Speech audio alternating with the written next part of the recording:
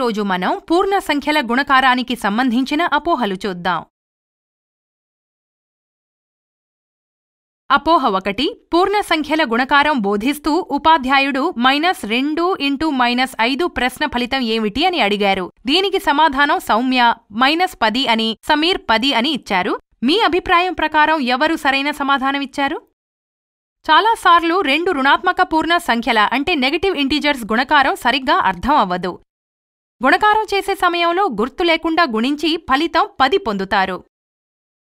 మరియు రెండు రుణ సంఖ్యల్ని గుణిస్తే రుణ సంఖ్యే లభిస్తుంది అనుకుని ముందు మైనస్ గుర్తు పెడతారు. ఈ అవగాహనతో సౌమ్య ఇచ్చిన సమాధానం సరైంది అనుకొని ఆప్షన్ ఒకటిని ఎన్నుకుంటుంది. కాని ఇది తప్పు సమాధానం. సరైన అవగాహన ఏమిటంటే ఏవైనా రెండు రుణాత్మక పూర్ణ సంఖ్యల లబ్ధం ధనాత్మక పూర్ణ సంఖ్య అంటే పాజిటివ్ ఇంటిజర్ అవుతుంది. కాబట్టి రెండు రుణాత్మక పూర్ణ సంఖ్యలను గుణించడానికి మొదట మనం వాటి సంఖ్యా విలువలను అంటే గుర్తు లేకుండా గుణించి ఫలితం ముందు ప్లస్ గుర్తును ఉంచాలి. ఇది మైనస్ రెండు ఇంటూ మైనస్ ఐదు యొక్క సరైన ఫలితం ప్లస్ పది అవుతుంది. అంటే సమీర్ సరైన సమాధానమిచ్చాడు.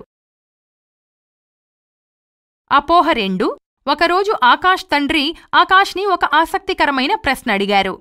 మైనస్ ఒకటి ఇంటూ మైనస్ రెండు ఇంటూ మైనస్ మూడు ఇంటూ మైనస్ నాలుగు ఇంటూ మైనస్ ఐదు. ప్రశ్న యొక్క ఫలితం ఏంటి? ఆకాష్ దీనికి నూట ఇరవై అని సమాధానమిచ్చాడు. ఇది సరైన సమాధానమేనా? చాలాసార్లు రెండు కంటే ఎక్కువ పూర్ణ సంఖ్యలను గుణిస్తున్నప్పుడు సంఖ్య విలువలను గుణించి ఫలితం అయితే నూట ఇరవై అని తెలుసుకుంటారు. కాని ఫలితం ముందు ఏ గుర్తుపెట్టాలనే అవగాహన ఉండదు. రెండు లేదా అంతకంటే ఎక్కువ పూర్ణ సంఖ్యలను గుణిస్తున్నప్పుడు లబ్ధం ధనాత్మక పూర్ణ సంఖ్య అవుతుంది అనే అపోహ ఉంటుంది. ఈ అపోహ కారణంగా ఆకాష్ సమాధానాన్ని సరైనదిగా భావిస్తారు. ఆప్షన్ ఒకటి ఇది తప్పు సమాధానం.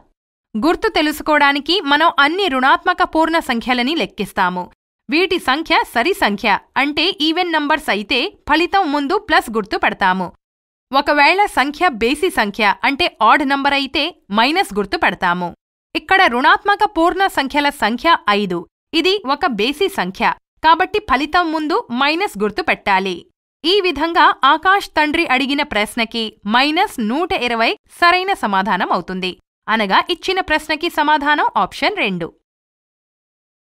ఈ రోజు మనం పూర్ణ సంఖ్యల గుణకారానికి సంబంధించిన అపోహలను చూశాము.